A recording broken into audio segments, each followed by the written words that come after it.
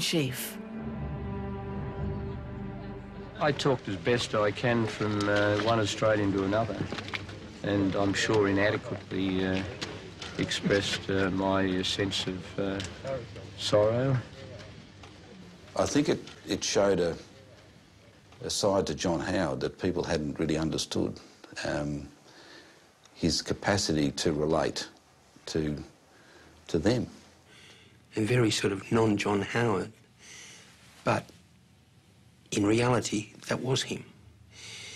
And immediately he said, we've got to do something about guns. I can remember discussing this issue with some of my staff, and one or two of them said to me, You're not really thinking of banning all semi automatics, are you? And I said, Yes. I said, We might as well go for broke on this. The cabinet was quite divided on it. Uh, and mostly it was divided along city rural lines. And, you know, sitting around the uh, cabinet table were um, people who actually owned a lot of guns. The Prime Minister rang me early one morning, just a few days after Port Arthur, and said, well, now, we're going to have to do something, as you know, about gun laws. Said, your job is to explain to me and convince me uh, as to what sort of firearms farmers need and legitimately uh, have, must have access to. Uh, what sort of gun do you use? And I hesitated for a moment because I thought I don't quite know how to tell the Prime Minister that I have what he would regard as an arsenal. We realised that Howard wasn't going to change his mind. I mean, you could give your arguments against the gun control and you knew he would listen to you politely and he would be patient with you, but you knew you were talking to a brick wall. He was not going to change his mind. And I have to say I was annoyed on occasions that he didn't seem prepared to make even little compromises for those whom I felt had put up a reasonable argument. I mean, if I'd backed off, I'd have looked hopeless and weak, and people would have thought, well, you know, he's not fair dinkum. How many more people need to be murdered by a madman to convince the government to do something? Those sorts of things, if you don't deal with them decisively, they, they weaken people's faith in the institution of governments.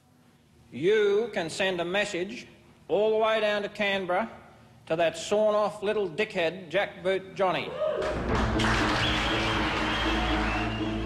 I'm not worried about anything. Persuading the Bush to embrace gun reform was a test of John Howard's political skill as he went head to head with rural Australia. The only currency that you can purchase freedom back with is blood. There was white hot anger from those opposed.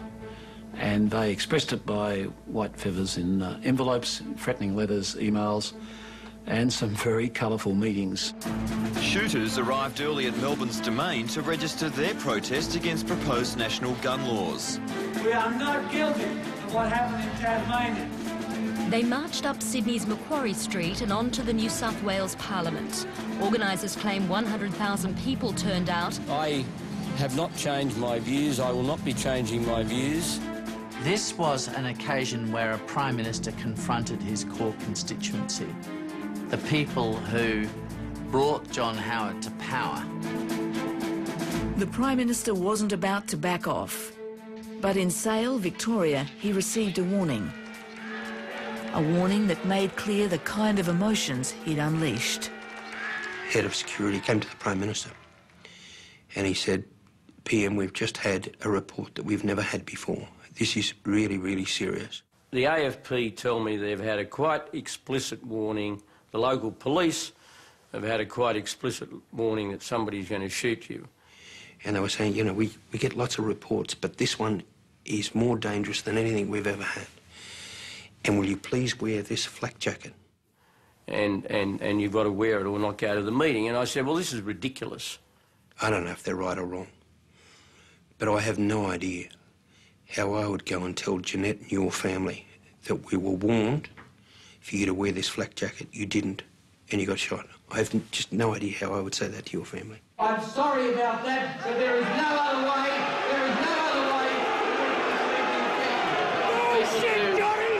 And it is always You know, I grumbled and I argued with him, and in the end I thought, oh, well, this is stupid, I might as well wear it. And I'm sorry I did. I really am. I felt a, a bit of a goose afterwards for having worn it. But that is an element of turning around the culture in this country, and that is the reason why the government has taken the decision that it has taken. But John Howard's dogged determination paid off. Three months after declaring a war on guns, the Prime Minister had won the day. I had a different impression of John Howard when that was over than perhaps I had prior to that event. I thought this man has proportions I didn't really understand. The Prime Minister's resolve to deliver uniform gun laws inflamed his rural supporters.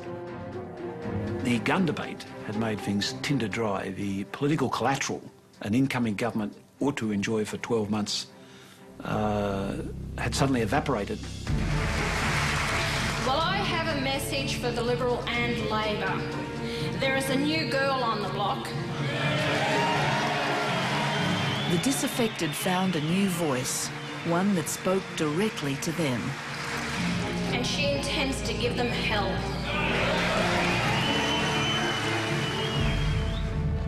If there is any one single factor that triggered support for Pauline Hanson, it was the guns debate.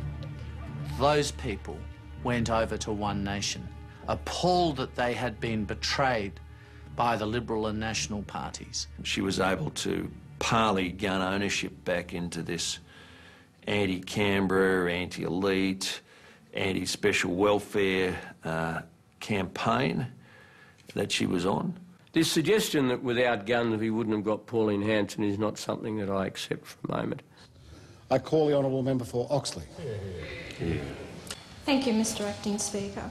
In making my first speech... in- When Pauline Hanson first spoke in the House of Representatives, guns were not her target.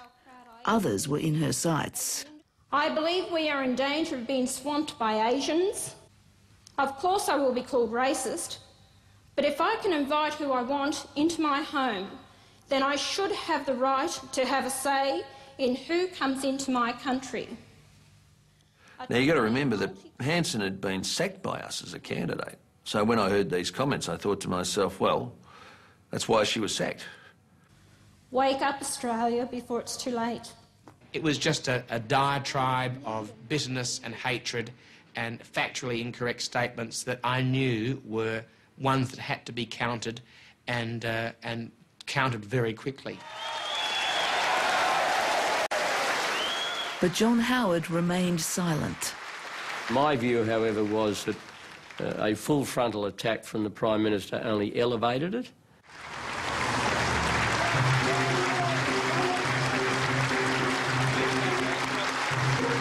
Twelve days after Pauline Hanson gave her maiden speech, the Prime Minister made a speech of his own to the Queensland Liberal Party.